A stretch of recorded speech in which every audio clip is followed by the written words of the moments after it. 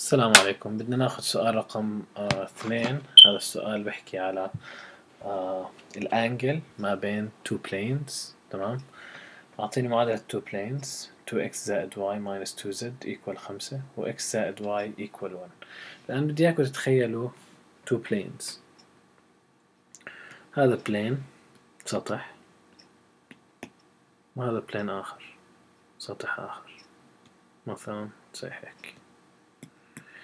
الآن هذا البلين عشان نعبيه هيك نجرب. هذا هيك هون هيك مسار. لكن هذا البلين مساره مثلا خلينا نعبيه بلون أسود. كل واحد من هذول البلينز لهم شو؟ عمودي عليهم. هلا أنا بدي الأنجل بينهم. هي الأنجل لو بدك تتخيلها الانجل لو بدكم تتخيلوها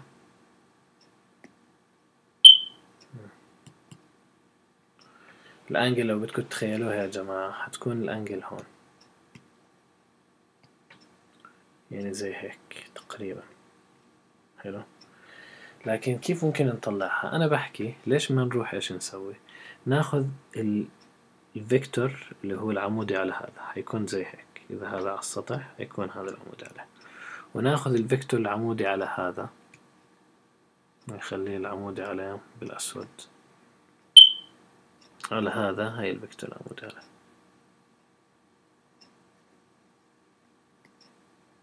تمام؟ هذا عمودي عليه. الآن هذول ال two vectors بينهم هاي ال angle. صح؟ هاي برضو ثيتا. هذه ال angle. بلاش بالبرتقالي لأنه بعمي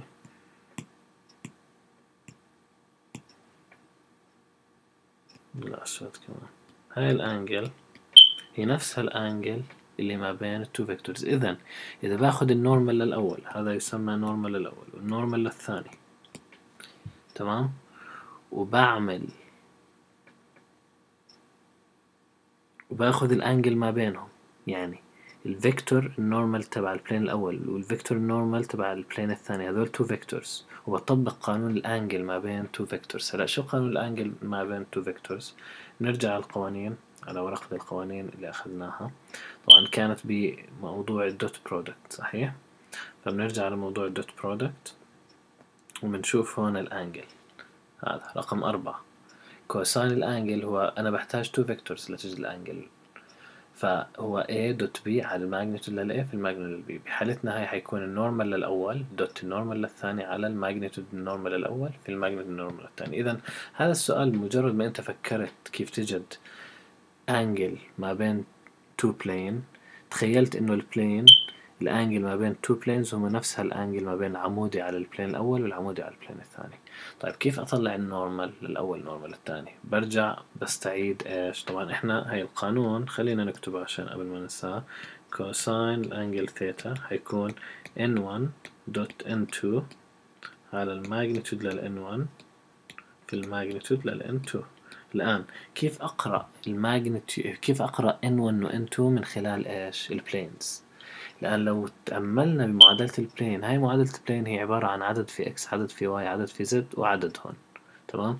فلو رحنا وطلعنا على معادلة ال plane ال plane equation of the plane هي عبارة عن في عندي هاي ال equation الأولى أو عندي ال form الثاني. أنا شايف إنه ما في أقواس طبعا هذا ال form حيكون. ال X معاملها A ال Y معاملها B وال Z معاملها C. وإحنا شايفين هون إنه ال normal vector هو ال A B C. لاحظوا ال equation plane في عندي ال normal vector وعندي ال point تمام؟ ال A وال B C هي المضروبة بال X مضروبة بال Y مضروبة بال Z لما وزعناها هون طلعت AX BY CZ إذا معامل ال X بيكون ال A معامل ال Y بيكون ال B ومعامل ال Z بيكون ال C. الآن نرجع لسؤالنا هذا ونيجي بنحكي. يلا. تعال نطلع ال vector N1 N1 شو بيساوي؟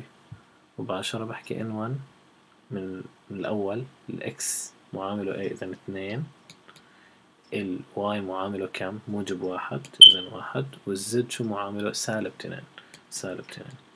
هاي بيكون ال vector N1 طب N2 يلا بنيجي هون ال X شو معاملها؟ واحد ال Y واحد Z هل في Z؟ لا إذا صفر. ممتاز خلاص. طلعنا two normal الآن خلينا أول شي نجهز n1 دوت n2 الماجنتود ل n1 ال magnitude ل n2 بعدين إيش؟ بنعوض بقانون ال angle. طيب شو قانون ال dot product؟ بنرجع لقانون ال dot product. إحنا عشان هيك حطينا جميع القوانين بالأول عشان مباشرة بس إيش؟ نطلع على قانون الحل. ال dot product a dot b بدك تضرب ال ax بال bx ال ay بال by ال az بال bz بعدين تجمعهم كلهم. بينما ال magnitude باخذ جذر الأول تربيع زائد الثاني تربيع زائد الثالث تربيع. طيب تعال نطلع على هون. يلا. n1 dot n2 شو بيعطيني؟ اثنين في واحد. هي ضربت الاكس بالإكس زائد. واحد في واحد. ضربت ال y بال y زائد. سالب اثنين في الصفر. ضربت العدد بالعدد اللي هو زد بالزد. الآن هاي حساب أرقام بالحاسب. اثنين زائد واحد ثلاث. هذه صفر. إذا الجواب بيطلع شو؟ ثلاث. الآن ال magnitude ل n1 هو جذر اثنين تربيع زائد هون واحد تربيع زائد سالب اثنين تربيع. طبعا هاي نتيجتها شو بيطلع؟ هذا أربعة وهذا أربعة هي ثمانية واحد تسعة. جذر التسعة كم؟ ثلاث يعني نروح ناخد n 2 كماجنتيود. جذر عندي هنا فقط واحد تربيع وواحد تربيع صح؟ وهذا صفر تربيع لو بيطلع واحد زائد واحد كام؟ جذر ال two الآن نروح نحكي cosine ال theta إيش بتساوي؟ القانون تساوي n1 dot n2 شو جوابها؟ ثلاث بعوض مكانها ثلاث على ال magnitude ل n1 اللي هو كم؟ ثلاث في ال magnitude ل n2 اللي هو كم؟ جذر اثنين طبعا هذا بتختصرها ثلاث مع ثلاث شو بضل cosine theta تساوي واحد على جذر اثنين. طيب شو ال angle ال cosine واحد جذر اثنين؟ إذا عندك حاسبة بتحط cosine ال inverse للواحد على جذر اثنين يعني هيك بيطلع.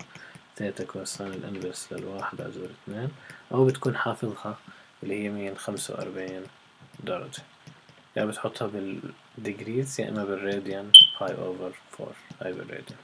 تمام؟ هذا حل سؤال رقم اثنين. تابعونا بالفيديو القادم. إذا عجبكم الفيديو اعملوا like subscribe على القناة وانشروا بين أصدقائكم. الله معكم.